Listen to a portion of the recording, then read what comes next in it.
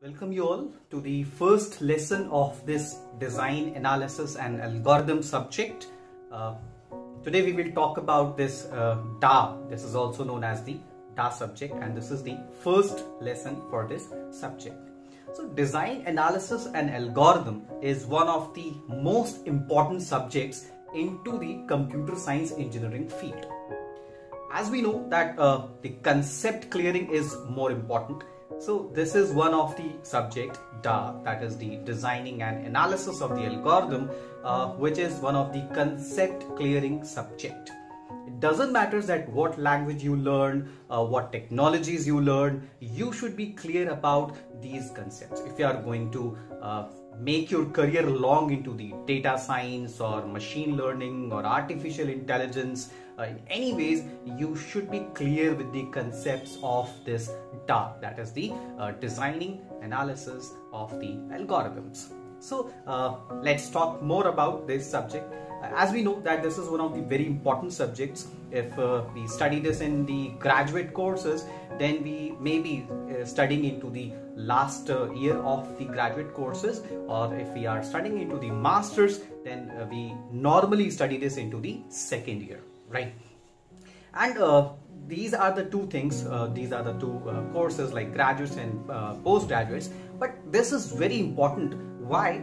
Because let me give you two major reasons. One when you go for the interview, the companies will ask you uh, the questions from this DA, obviously. Obviously, the questions will be asked from C, C++, data structures and design and analysis of the algorithms because they want uh, to know whether your concepts are clear or not. If you go for the good companies, then they will definitely ask you the questions from this subject DA this was the one.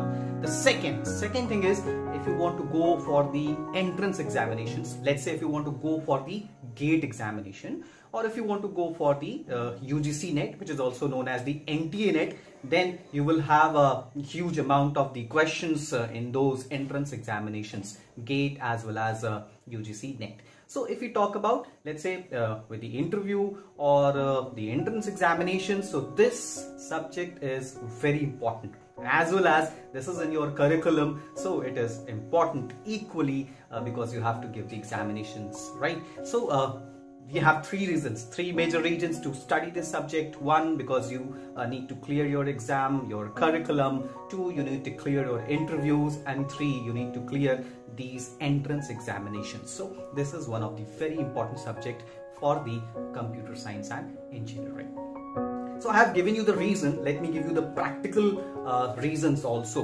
why uh, this uh, DA subject is important because it's all about algorithms, designing algorithms, even designing better algorithms and analyzing algorithms. So let's say if we have uh, four algorithms for uh, solving one problem, then we need to analyze that from those four problems, which is the best problem we can only identify just by analyzing all those four algorithms and then we can choose the best algorithm for our problem. So that is importance of the design, designing better algorithms. We want better algorithms day by day and we want to analyze uh, from the available algorithms that which is the best for the implementation. Let's say we Google everything today and Google needs to search a lot of things into its uh, database. So uh, if it will not give you the best results using the best searching algorithms in the fastest time then obviously uh, you will not choose Google for the next time. But Google is doing. Why? Because it is analyzing its algorithms and it is designing better algorithms day by day to give us the best results. So uh, we use Google. There are algorithms. Need to design analyze the algorithms let's talk about facebook also. So in facebook also it's all about searching and sorting. So whenever we search someone so uh, the facebook uses its best algorithms to give you the results.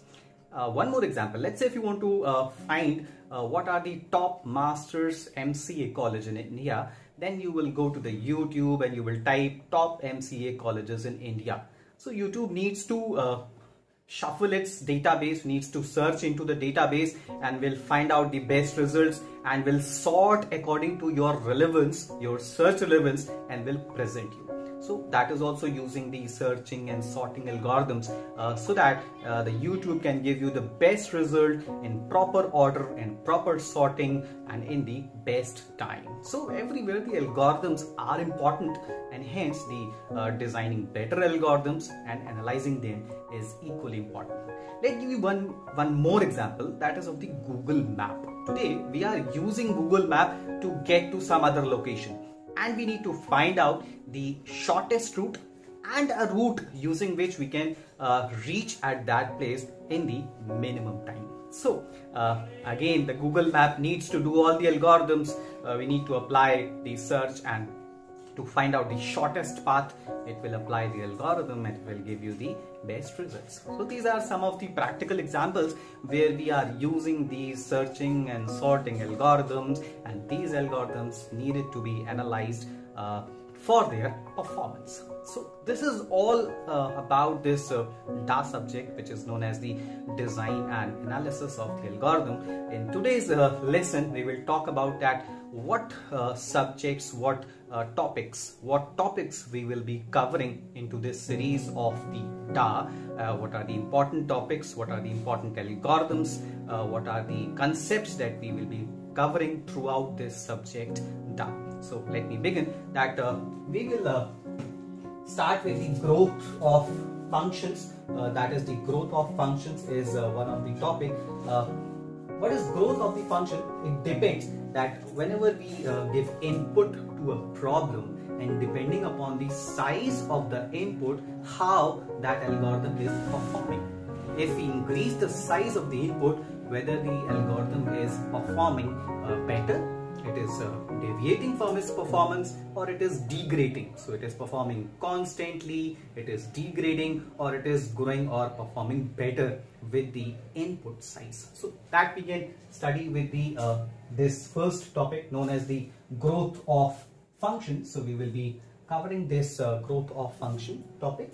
Then the next is uh, an important one which is the asymptotic notations so here we have uh, big O notation, big omega, theta notations, then little o notations and little omega notations. See, these are asymptotic notations uh, used to assess the performance of the algorithm. So we will apply uh, these uh, asymptotic notations on different algorithms and we will try to analyze their performance. We'll see it later. Uh, don't worry, we'll uh, learn everything in detail. We'll learn everything with lot of ease. I'm going to make this subject very easy for you. Uh, most of the people have uh, asked me that DA is a very difficult subject but let me tell you I'll make it very easy for you right so the next is the complexity we are going to study the complexity one of another very important topic uh, we study two types of uh, complexity here majorly one is the time complexity and other is the space complexity where we uh, understand we try to learn uh, that how an algorithm performs in its three major senses. Let's say in the uh, worst case, what is the worst case of an algorithm, what is the average case and what is the best case. So let's say if we have to use a linear search of 10 elements and uh, the element we need to search is present on the first position. So obviously the linear search will give you the result very fast. So that is known as the best case. And if the searching element present is at the last 10th position then the linear search will take maximum time to give you the result that is known as the best case uh, and if it is somewhere in the middle then obviously we say that this is the average case so we need to study all these uh, things best cases average cases and worst cases in respect to these two uh, constraints time and space what is the best case uh, in which your algorithm can return the result in reference to the time as well as in reference to the space. Uh, then we will uh, analyze some of our main algorithms. We will analyze some of our main uh, searching algorithms as we have already uh, heard about linear algorithm and binary search algorithms. But here we will analyze these algorithms. We will not only learn how to code because we have already learned this. Uh, we have already made the program uh, of uh, linear search and binary search but now we will uh, try to analyze these algorithms on the basis of the complexity, on the basis of uh, with the help of the asymptotic notations. Similarly, we will also analyze the, these uh, sorting algorithms. Here we have uh, two categories of the sorting algorithms. Let's say basic uh, sorting algorithms and then the advanced sorting algorithms. So the basic, in the category of basic, we have bubble sort, we have selection sort, uh, we have insertion sort. These are termed as the basic sorting algorithms. Uh, we have already learned and uh, know the concept of these algorithms. And then the advanced algorithms like shell sort, quick sort, merge sort, heap sort and radix sort. So we will learn all these algorithms and we will uh, analyze these algorithms for the performance uh, in the best, average and worst cases uh, with the help of the asymptotic notations. So we are going to analyze these uh, algorithms, searching and sorting algorithms. I have already told you the importance of these searching and sorting algorithms in practical life. Uh, next is uh, the approaches. We need to study the approaches of or we can say the classification of algorithms. Uh, what are the approaches that we can create the algorithm? What are the ways? What are the methods? So we have this uh, divide and conquer approach. So this is one of the approach divide and conquer. If you have a if you have heard about this merge sort and this is based on this divide and conquer uh, approach. We will see this later in detail. What is this approach? Then we'll talk about the dynamic programming and we'll also talk about the greedy approach the greedy approach to get to the solution. Uh, we also talk about branch and bound, branch and bound approach. Uh, this is more related with your graph problems, branch and bound. Then we'll talk about the uh, backtracking, again uh, graph uh, problems uh, to find out, let's say, the minimum spanning path of the tree. We're using the backtracking algorithms. Then we'll also be talking about the randomized approach, randomized algorithms and approximated approaches. So these are all the approaches using which the algorithms can be designed uh, and we need to analyze these uh, algorithms and we can also say that these are the classifications of the algorithms. We will be, we will be learning these uh, in detail. We have lots of problems based on these approaches.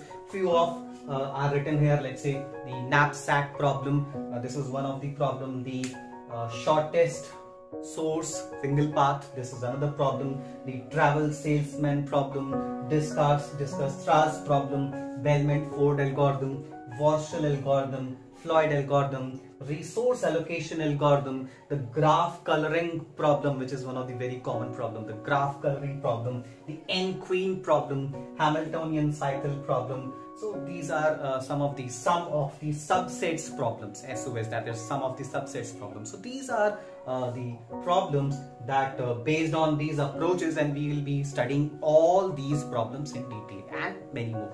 So we'll be studying all these problems in detail into this uh, series of the DA. The other things that few data structures we need to study, analyze. So in the data structures, we have the trees. So in the case of the trees, we will be studying, let's say, B tree and uh, the RB tree, that is the red black tree. So we will be studying this B tree and red black tree here. Uh, we will be studying the heaps also where we have the binomial heap. We will be studying binomial heap and we will be studying the Fibonacci heap. So these are the two heaps we will be studying and analyzing in detail here in this uh, course. And obviously uh, we will be talking about uh, Fourier transforms, string matching. String matching is another important concept that is uh, related with the automata as well as with the machine learning. So we will be learning string matching. This is a whole chapter. We will be studying this string matching in detail. Then we will be talking about NP completeness. NP completeness and uh, lastly we'll be talking about this approximate algorithms and these randomized algorithms so these uh, approximate algorithms and randomized algorithms will be our uh, end chapters so this is all we need to study into uh, our design and analysis of algorithm subject we'll be dealing in detail. And let me tell you I'll make it very simple for you. I'll make it fun learning for you so that you will be able to uh, crack your interviews. You will be able to uh, identify your answers very well in your entrance examinations. And you will be able to score good in your uh, theory examinations as well.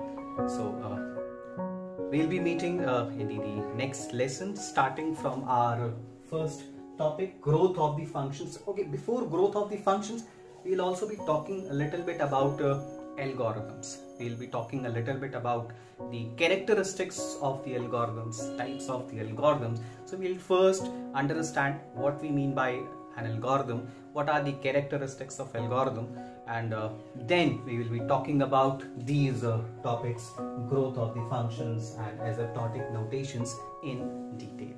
So that's it for the lesson. Uh, we'll meet into the next lesson. Thank you so much.